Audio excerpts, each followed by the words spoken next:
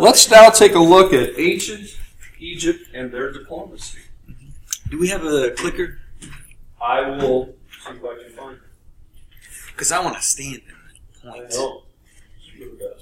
Point. Green point. I feel like since the beginning of the season, people start moving from here again. People just to go. Some people have started Uh, sitting down. Which I want to do too, but I'm not going to. Here it is. Oh wait, you have to look it up.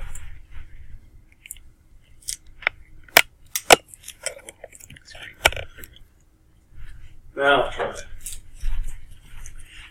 Okay, so I did my uh, paper on ancient Egyptian diplomacy and sort of just how they could cover all aspects of diplomacy from friendly relations to other countries to even sort of subjugation and tense relationships with other countries. So, most of this uh, discussion of diplomacy comes from the Amarna tablets or the Amarna letters, which were usually between Egypt and Babylon. Hey, Christian. Uh, and I'm not sure which are which. They're oh.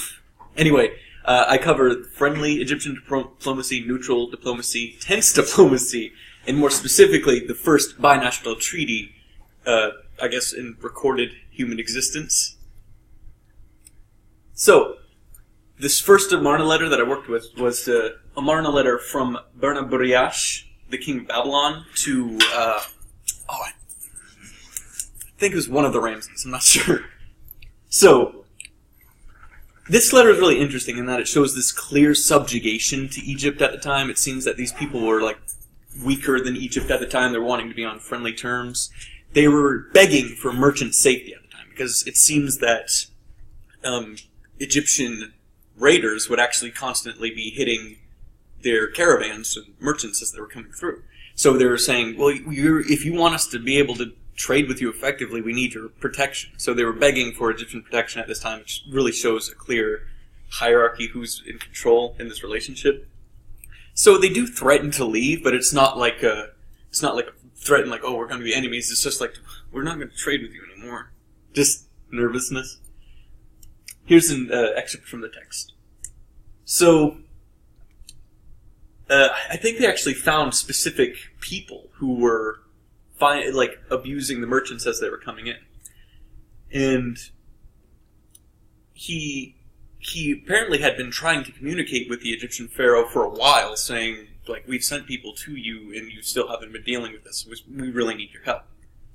So they right here they do threaten to discontinue relationships with Egypt, even though that's kind of an empty threat because Egypt, I imagine, at this time has a bit more of an upper hand. They they probably could say, "Well, guess what? You don't get to leave."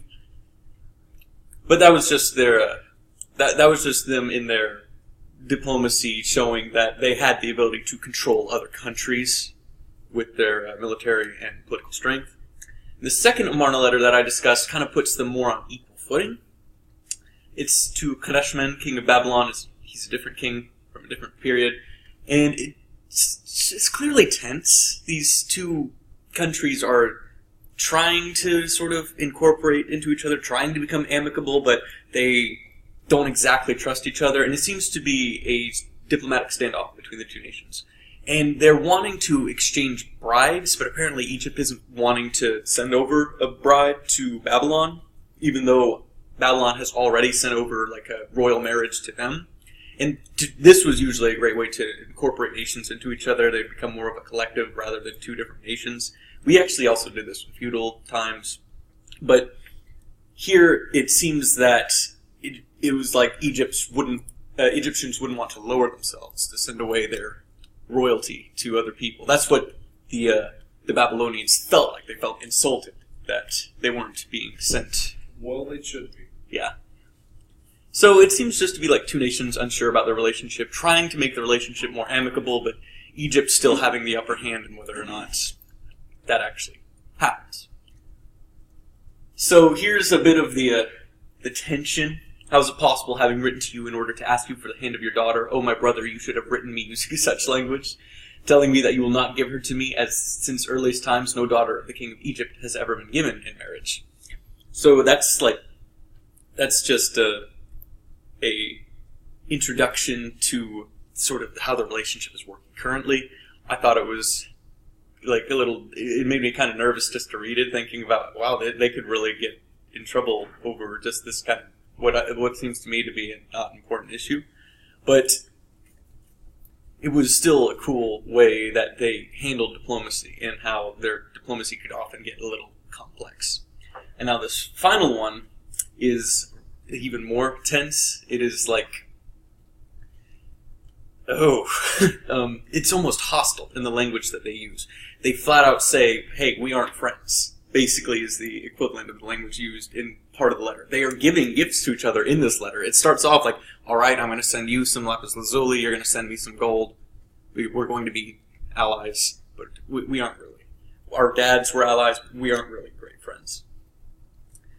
And these uh, this first part right here is just them mentioning the histories of their countries and how they were technically allies, and how I, I believe it was between oh Sup- Supil I can't remember his name and uh, and the king of Babylon and Akhenaten, and Akhenaten wasn't exactly being very forthcoming with Yeah, no, Su Supalu Laluma Mhm. Is a Hittite king. Mhm. So that's in Turkey. It's a Turkey, yeah. Oh wait, no, it might not be Akhenaten. I'll have to check that again. I'll, I'll, fix this. Ramsey Ran, yes, second, I believe. And so here in this, yeah, that, that's actually totally correct. And here at this later part portion of the letter, uh, they, I'm trying to find where it is. Why have you put the name of, of my brother above my name? And who is it who troubles the good relationships between us? How has, who? Have, uh, my brother, have you written to me thinking that we have become allies? So it's, I, I just thought this was interesting because it shows that at this time, even though it was, even though it was common for these nations to be, um, like normally this kind of insult would already have a nation put at war, yet they're still managing this diplomacy in hostile relationships with other countries, which is kind of like a modern thing we do today. I like the last line. I have no better thought of than a cadaver, but your name I rub out. Pretty good. and yet they still weren't killing each other at the time. So it, it's Yes. just- yet. And here I uh, move into the a more focused look at the first binational treaty between Ramses II and uh, Hattusili III of Babylon. So the, it's separated into like several groupings. In the first grouping, it establishes the royal lineage of both kingdoms and their legitimacy, uh, legitimacy to be talking to each other. So it lists the ancestors of Hattusili. It emphasizes his uh, right to rule Babylon, and then it lists, or rather, uh, Hittites.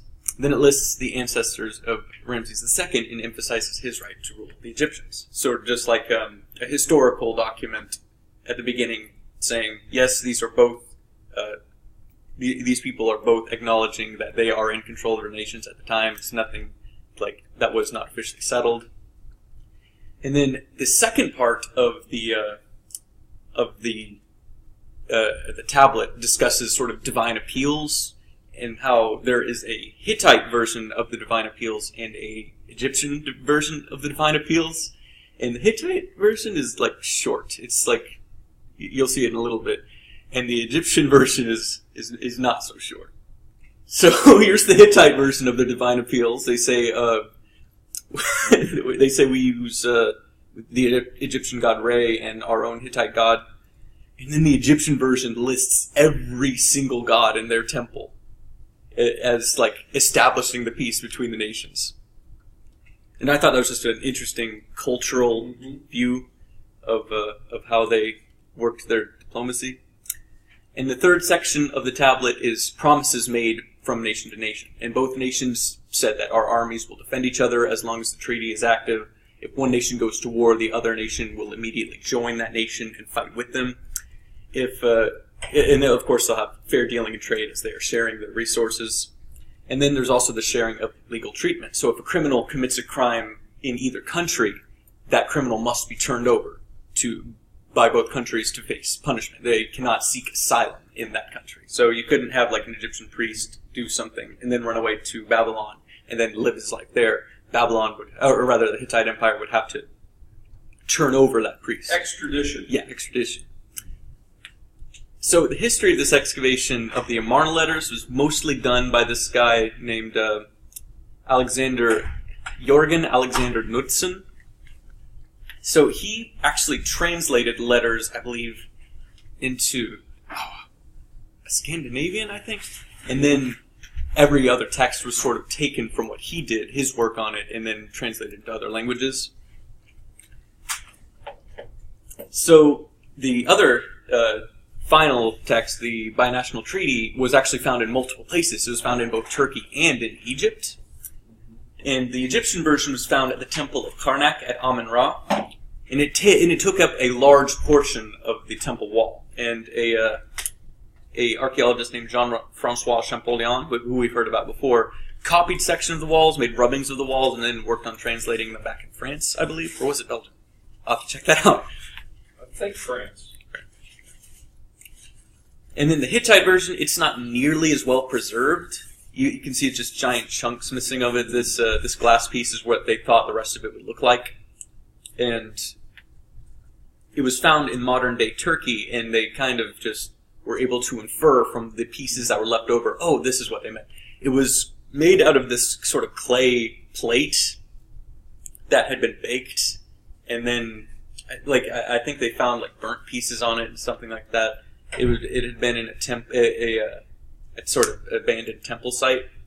It was found and studied by German archaeologist Hugo Winkler, who that's a very unfortunate name, and um, he worked on translation. I believe he was more of an Assyriologist than a uh, than a Egyptologist, but he combined his resources with Egyptologists to sort of show this really interesting. At a site called Hattusis. Yeah. The capital. So you can see that in the uh, museum in Istanbul. and that's my work cited. Any questions? Very good. Okay, cool. All right, thank you. Good job.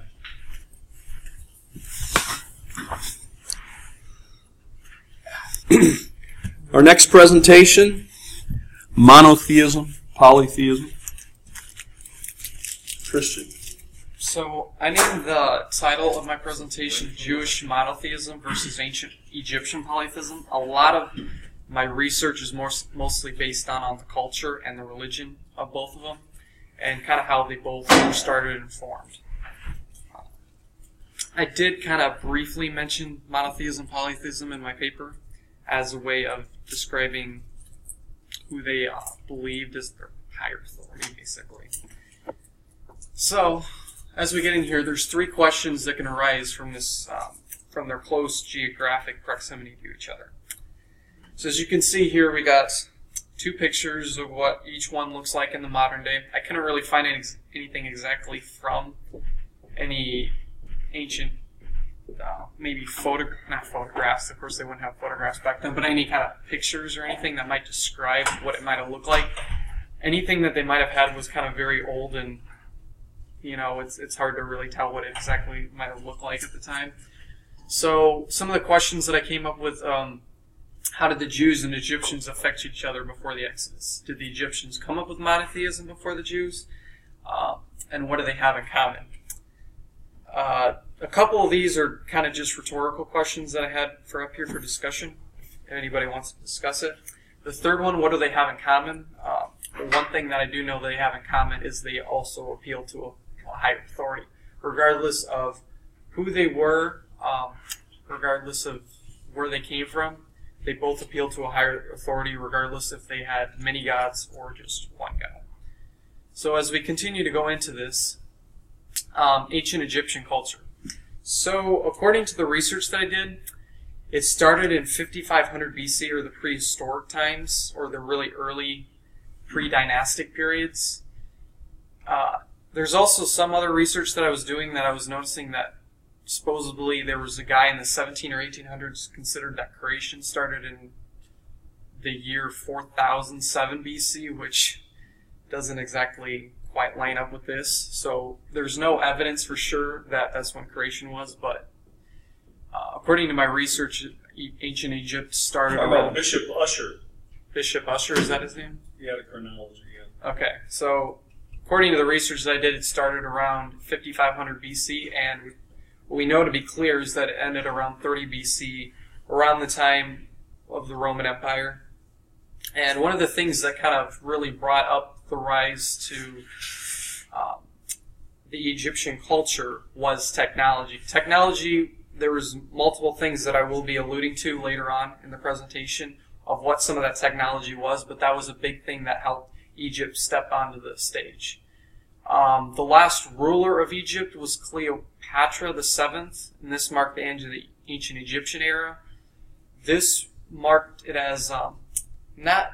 This was not in the New Kingdom because obviously, as we've also done from our video assignments recently, that the New Kingdom ended with what was probably the collapse of civilization. Um, even though Egypt continued on much farther than even that. So, uh, this was the last ruler of the ancient world of Egypt, as we know before. Roman period. Definitely made a scene on the stage. So now let's talk about Jewish culture. So, as we know from the Bible, that the Jewish culture started with the patriarchs and started with Abraham as a, the covenant between God and Abraham and it was the uh, the descendants, the promise of the descendants that would further uh, the further blessing throughout the entire world.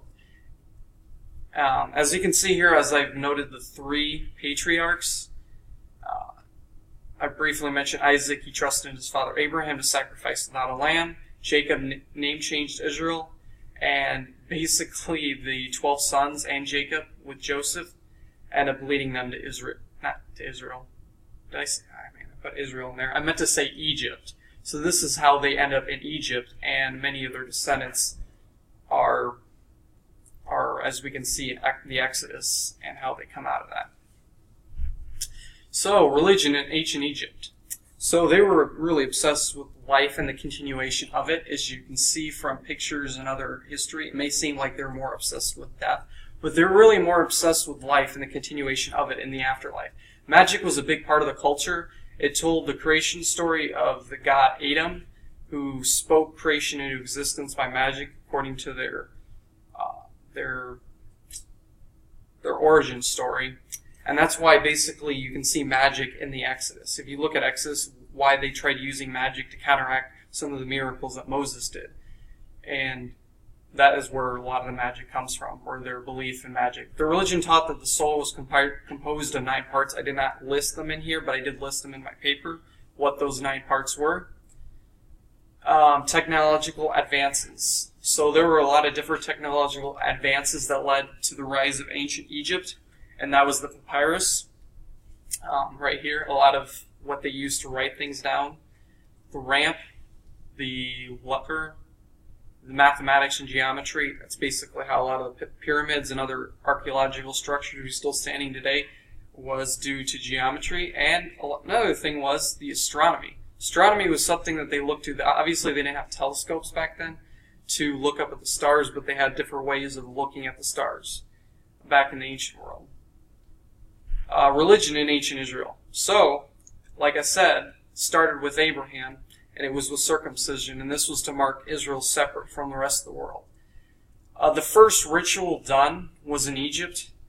Uh, it was as a plague to wipe out the firstborn who did not have the blood over their doorposts. This was the first observance of one of the rituals that, e- not Egypt, but Israel had done, and it started in Egypt. Uh, what we see next throughout the history of Israel is the Ten Commandments, and that was the law that was given to Moses on stone tablets for Israel to follow after. Um, you really can't see the law of what was right and what was wrong. So this was their religion. This is their God, monotheism. Uh, this was they believed in one God, and that was the was their creator of the universe, them, and everything. The one who made the covenant with them versus ancient Egypt, they had many different gods that were polytheistic throughout the throughout their history. And Israel believed only in one. So these are my sources. Thank you very much. Anybody have any questions about anything? All right. Thank you. All right. Thank you.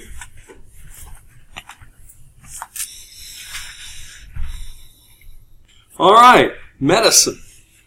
Yes, medicine. So. Oh. Dr. Weinberg. I did my paper on the history of ancient Egyptian medicine of surgery. But in order to get into surgery, I kind of had to go a little bit just into their medicine because their concept of medicine is very different than ours. So you have to go a little bit into that first.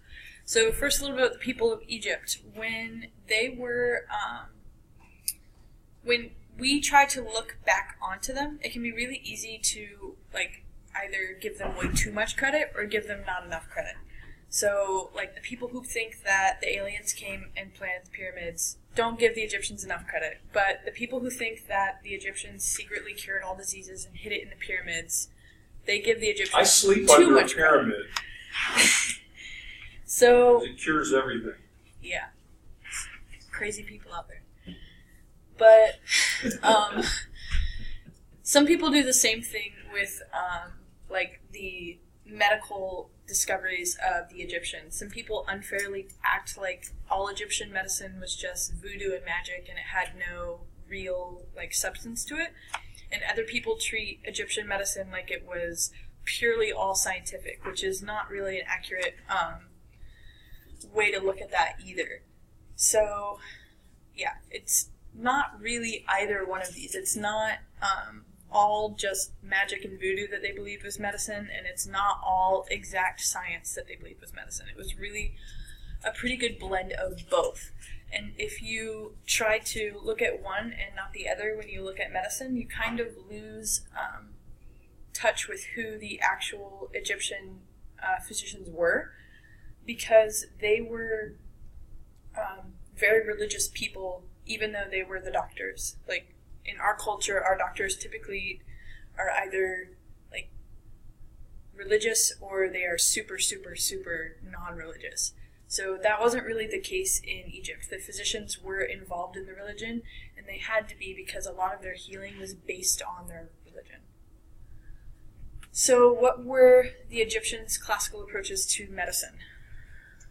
They had two approaches the magical and the scientific. So, the magical was kind of like the less precise, and it didn't really follow a strict set of rules. It followed the traditions and some of their theological ideologies, not necessarily anything that they had proven to work. Um, so this could include rec- reciting some kind of like spell or chanting some incantation that they thought was going to make things better.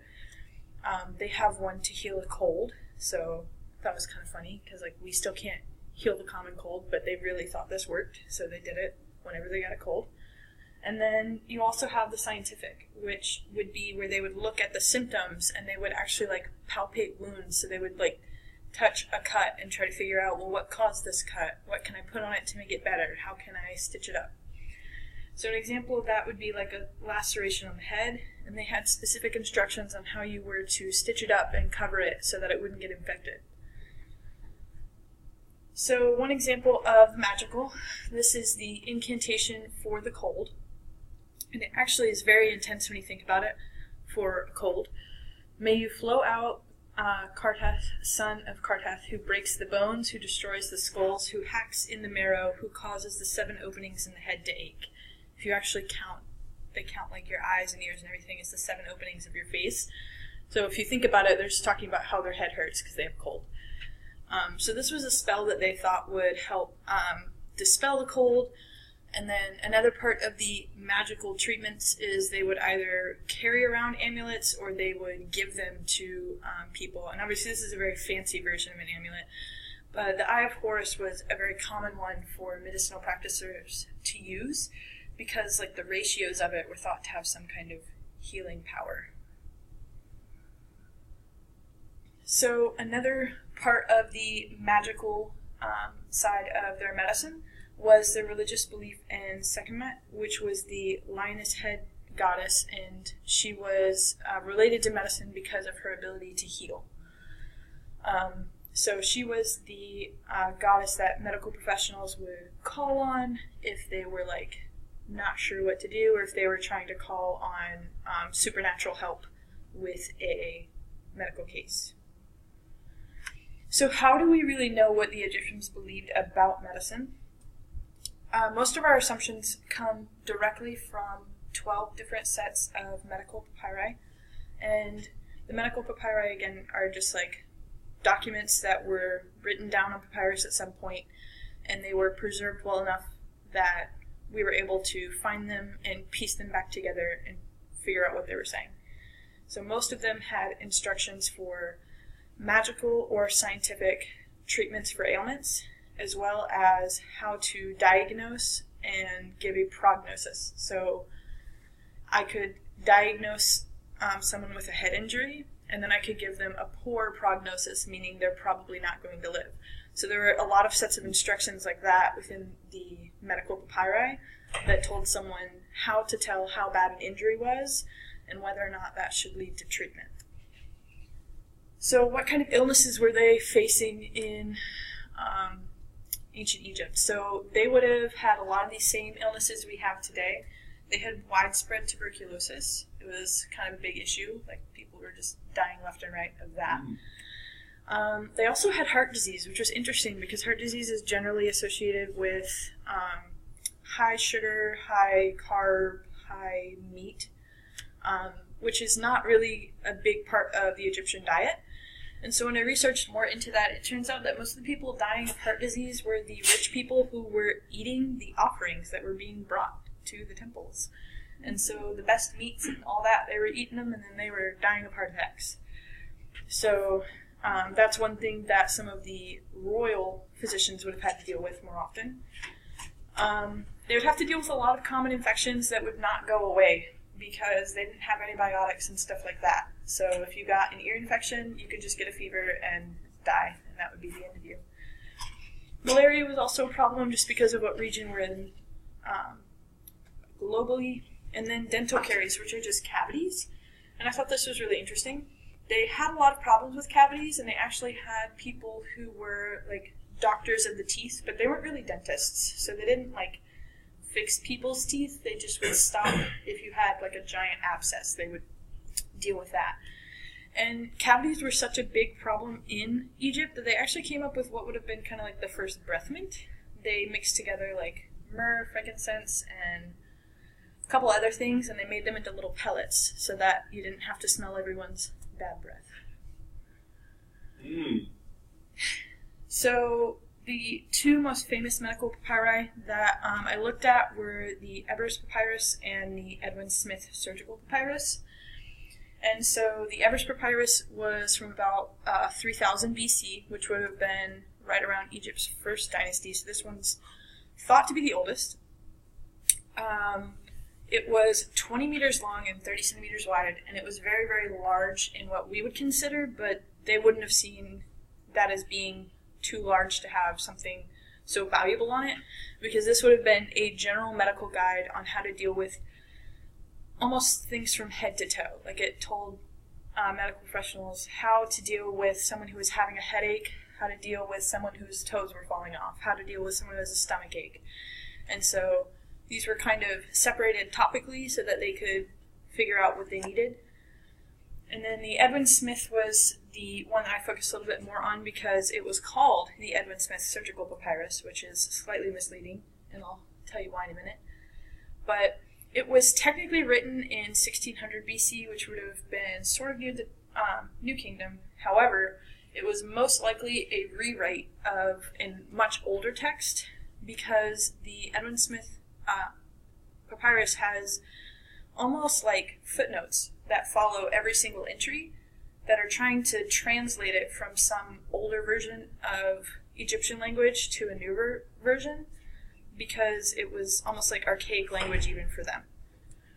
So um, this one was a much shorter. It was only five meters long of papyrus, and it contained um, mostly instructions on how to deal with head injuries, because the idea was that it was going to start with the head and end up at the toes, but it died off somewhere right around the chest, and the scribe just stopped writing. He didn't run out of paper, he had more space, he just stopped writing in the middle of a sentence. So we're not really sure why.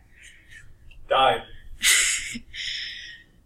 So, another really important thing that we can learn from these medical papyri about their ideas on medicine is what were their steps to diagnose and treat illnesses. So, the physician always went through a process of examining the patient. He would check the pulse. Now, Egyptians had no reliable way to measure short periods of time. So they couldn't like check your pulse for 30 seconds and then know like what your pulse rate was. So it's still unknown why they checked people's pulses, other than maybe to make sure they had one, because like they they had no way of counting it reliably. But they always made sure that somebody had a pulse. They would check for any physical manifestation of an illness. So if you had like a rash or a fever, or if you said your stomach hurt, like they were gonna feel anything that you said felt weird, just to see what they could get out of it. Then, because Egyptian medicine is half spiritual and half scientific, they would also ask you if you had made anyone mad recently, or if you had any enemies, because they needed to know. They needed to know where they needed to give you a medicine or an amulet because they didn't know what kind of sickness was attacking you. So they wanted to uh, rule out any other possibility other than the physical before they tried to give you some weird concoction. So this is a not so great image of the Edwin Smith surgical papyrus, and um, this is where a lot of that um, instructional information was coming from, the three steps that we were going through. So once he had all this information, he would again physically like palpate, so feel uh, whatever the injury was, like feel the fever, how hot was the fever, um, how swollen was that person's ankle. And so depending on what ailment the person was suffering from, he would categorize it into one of three categories treatable, untreatable, or fightable. And so Okay, Yeah. I was just saying, were all the medical texts in Demotic? Um, all the ones that the two main ones that I looked at were, and they were translated into hieroglyphics and then into other languages. Um, but I believe for the most part they were just because it was easier to store that way. Um, yes. So the three categories were treatable, untreatable, and fightable. And that became important because doctors were business people, and if you had an untreatable condition, they just kind of told you to go home and you died. Because if you died under their care, that looked really bad for them, and they needed people to come see them. It's bad PR. It's it is bad PR if someone dies dies at your doctor's office. So they pretty much had instructions to the doctors telling them that you should abandon patients whose fate is certain. So even if you've been treating someone and you think they're going to die, you should just stop treating them because then they don't die under your care. Which is kind of bad, but explains Egyptian doctors' mortality. Now we just cut off your insurance. yeah, they That's do that too. do now. Yes. So that's why those prognoses were so important. If you were treatable, fightable, or untreatable, because if you were treatable or fightable, fightable kind of meant that the doctor would fight whatever illness you were working with, and he knew that it might not work, but he was pretty sure he had a shot. But if, he- the doctor didn't think they had a shot at beating your illness, you were just kind of left for dead. So, back to the surgery thing, which is what the um, I was trying to get at with the paper.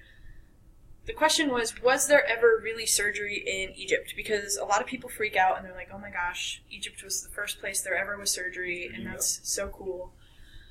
But there's a pretty decent debate to be had about whether there really was, because we know that there was suturing, so they stitched people up, but they didn't necessarily cause the cuts that they were stitching. They were stitching up cuts that happened from rocks falling on people's heads and things like that. So the claim that they were able to perform simple surgeries, especially amputations, was um, pretty popular for a while, especially. And so there are some people who claim that those didn't happen. And so one reason that the original claim that there were amputations going on in Egypt uh, was even made was because um, the surgeon of Napoleon, his name was uh, Larrey, he's got a fun name he saw these um, hieroglyphs or similar ones in a temple when he was there. And so he thought all of these were um, amputation. He thought all of these were things getting cut off or something that was cut off already. And so he went back and said, Wow, they're doing amazing surgery in Egypt. Like, this is great. They're doing amputations. And so he went and delivered that news. And then we were kind of like confused because we can't find anybody who was mummified and had a amputation. We can't find, we find like two examples, and both of them suffered from severe crush injuries, indicating they probably had their limbs cut off because they were being pinned by a rock, not because it was some kind of surgical necessity. So, um, this actually connects to the diplomatic um, thing you said earlier. Um, Ramses II actually made an agreement to quit cutting off people's hands and phalluses because that's what he would do when people lost, and then they would count them to see how many people they killed. So uh, Ramses II made a nice diplomatic agreement to stop doing that to people, but then Ramses III had this painted next to his temple, which says that agreement may not have gone so well. Exactly. So, again, there have been plenty of mummies found that are missing fingers, hands, feet, or hands, feet, or limbs, but they are more likely the result of punishment rather than medical necessity. So, were there actually surgeons in ancient Egypt? So, this is Herodotus. He um, uh, said medicine in Egypt was on a plan of separation. Each physician was uh, t- treated a single disorder and no more. Thus, the country swarms with medical practitioners, some undertaking the cure of diseases of the eye, others of the intestines, and some of which, which are not local. So basically, what he was saying was Egypt has specialized doctors that treat individual things. And so the hope was that maybe there were specialized surgeons that only dealt with cutting things off when you needed that happen to happen. But when you look at that, um, most of the doctors in Egypt were not specialized. There were a lot that were, but compared to their contemporaries, but most of them were not. They were just general physicians who dealt with the spiritual and the science, and they just did the best they could. But no matter whether they were specialized or not, they all went to temple school for years to learn how to be physicians and how to take information and diagnose and treat. So, they all would have had the basic ability of, to do surgery. Like, if you had something really weird growing off your arm, they would have been like, okay, let's cut it off. But they weren't going to actively go and try to, like, take out your colon. Like, that wasn't going to happen. They didn't know how to do those kinds of things because they didn't have that kind of um, anatomy knowledge to know how to do that without killing you because they didn't have the technology available. Now, we do know that there was basic, um, minimally invasive surgery um, to drain abscesses or to remove a fatty tumor that was on the outside. And so, again, that's kind of where the debate of is that really surgery because all you did was cut something off that was pretty much hanging off. Um, so, the biggest issue with even proving that these happened is the way mummified tissue gets um, uh, not really decomposing, but as it is being preserved, you kind of lose the ability to tell if someone had a small scar from a minor operation. So um, that makes it difficult to prove. So the conclusion is that overall, the idea of having surgery in ancient Egypt is not new. People have been thinking that there was um, surgery in ancient Egypt since at least the time of uh, Napoleon, maybe even before then. So uh, this could not necessarily be because there actually was any surgery there. It could just be because of some misleading um, murals or hieroglyphics that people misinterpreted. But I think one important thing to know is that even if these um, physicians weren't surgeons, they were still really important contributors to medicine in all the things that they figured out with what little technology they had. All right. Any questions? Imagine being that guy who works for Ramses III. You're just stacking up those uh, removed organs. So you're talking about major surgery and minor surgery. Yes.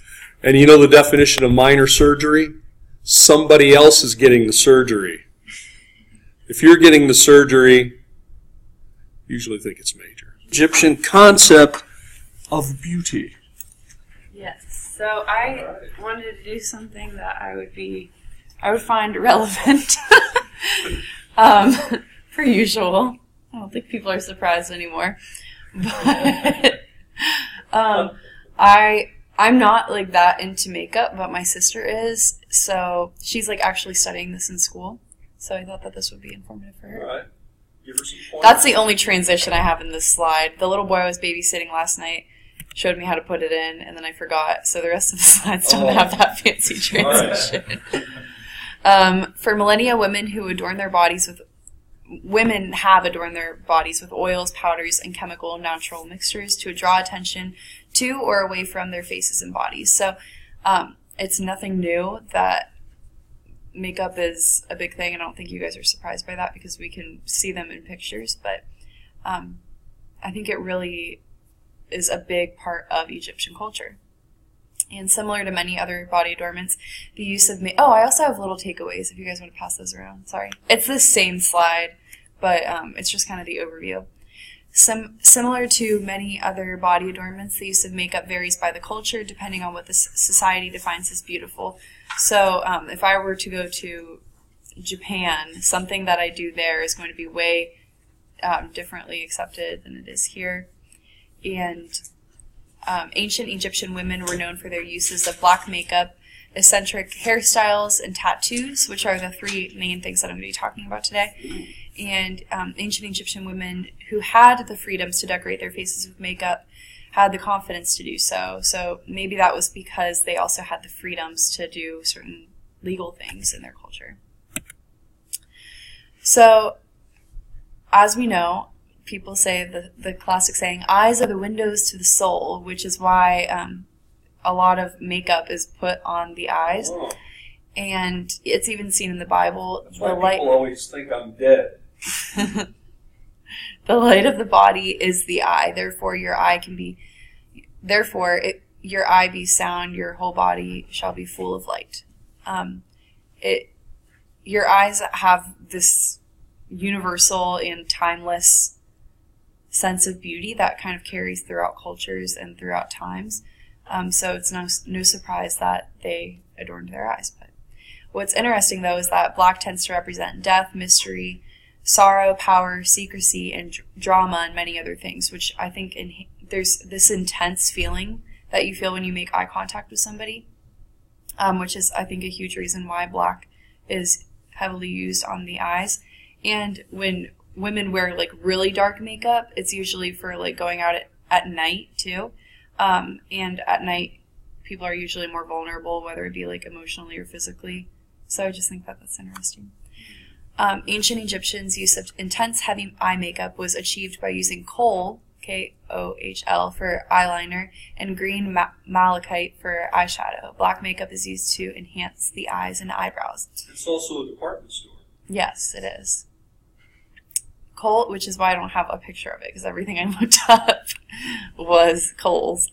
Yes. Um, so kohl is the new black instead of Ooh, orange. because they're in prison. yeah. Um, ancient Egyptians have used intense heavy eye makeup. Um, so I already said the malachite and eyeshadow, the al- malachite and the kohl is black. Um, it, kohl is a complex blend of ingredients, including crushed antimony, which is a silvery gray malatoid, me- metalloid. I'm sorry. It is made of burnt almonds, lead, oxidized copper, ochre, ochre, ash, malachite, which is the green pigment in the copper oxide, and chrysocolla, chrysocolla, Chrysicola. chrysocolla, which is a blue-green copper ore, that were combined to create a black, gray, or green pigment. And the green is actually, if you know makeup, it's actually good for darker eyes. So It's good for dark eyes. Mhm. I mean, like Like, there's different colors Black that- eyes. If you hit someone in the eye, you should put that on it. Yeah. There's different colors that make different eyes pop, and Oh, Egyptian eye ma- eyes are darker. So, well, that's yeah, probably black and brown. So the kohl was stored and applied in a container that would look like that. Um, it had a stick like applicator and a compartment um, that was stone, um, made of stone, dampened with either water or oil. So they would dampen the, the stick and they would mix it and then apply it onto the eye.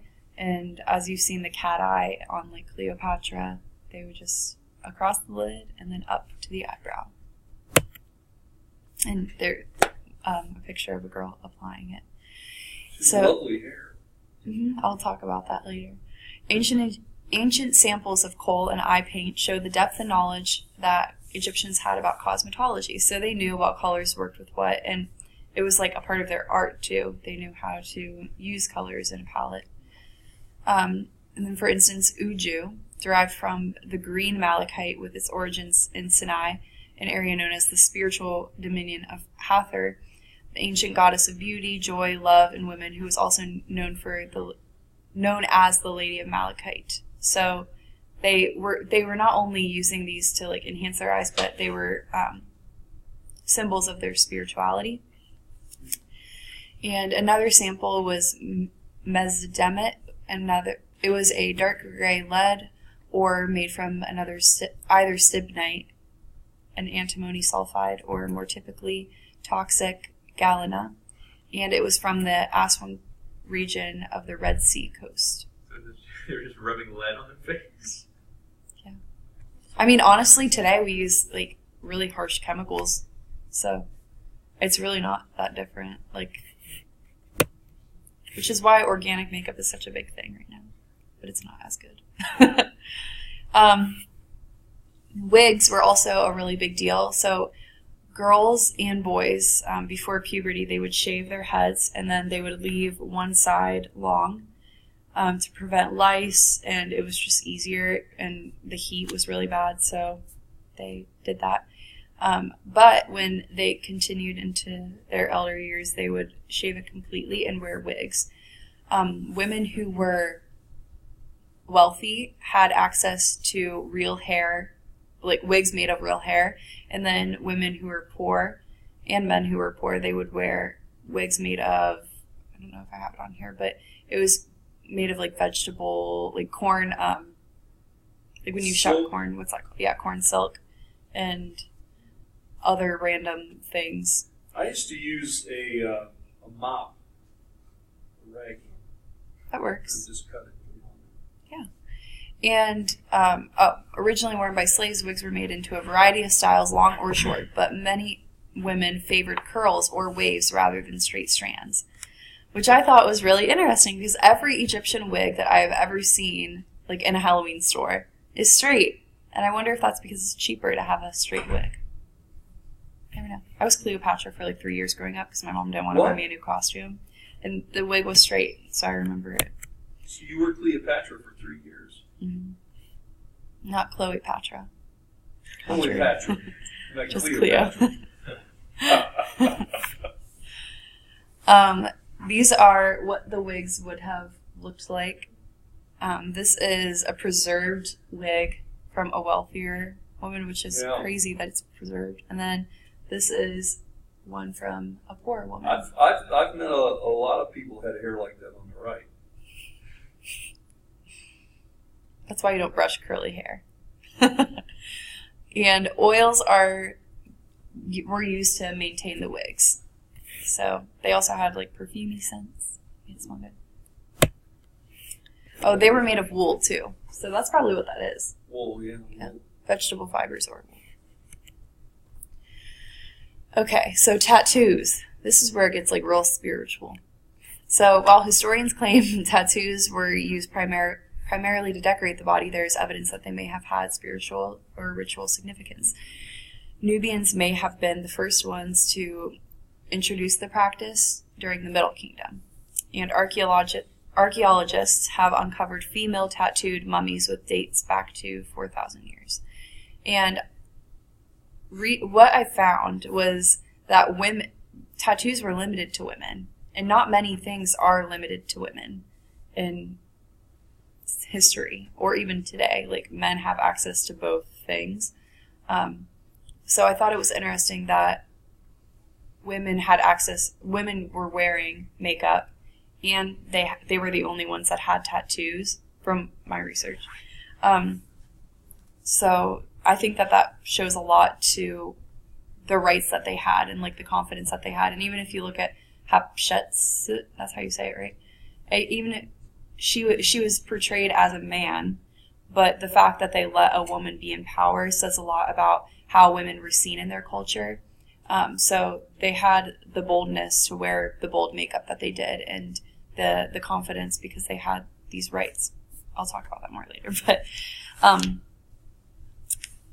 Amunet was the priestess of Hathor, and she was the first female tattooed mummy that we have found.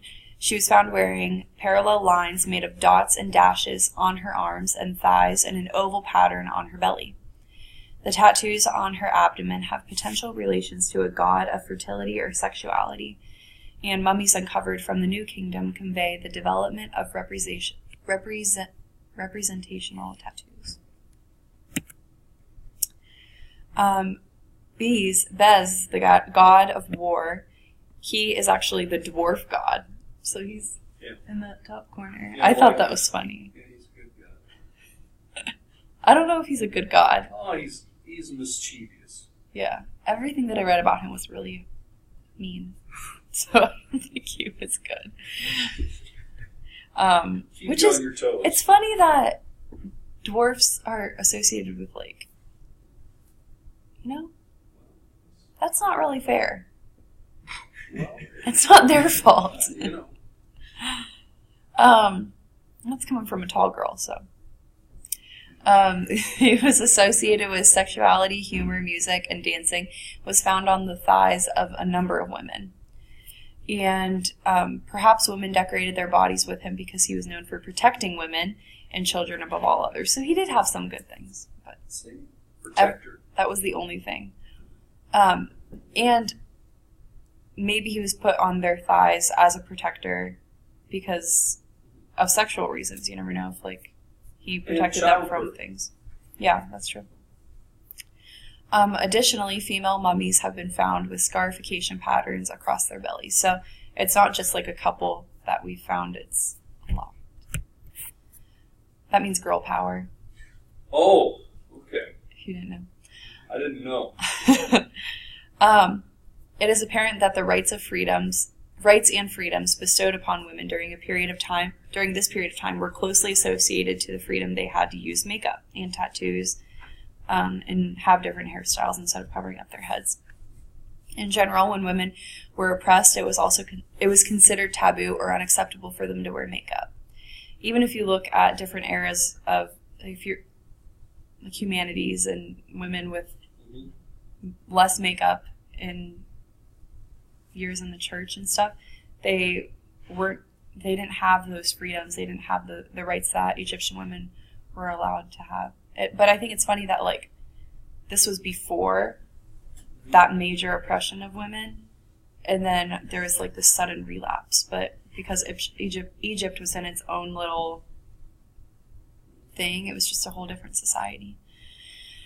Um, while women seemed to gain independence over time, Egyptian women had a decent amount of autonomy before the decrease of women's rights, and women held the rights to own and inherit their own land and property.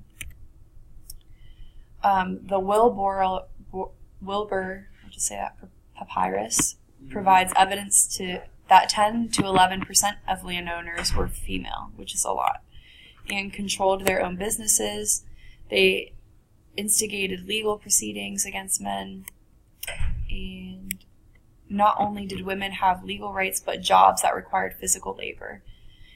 And some women were in lower classes um, worked these. Women who were wealthy wouldn't have, but it was like acceptable for them to lift things. um,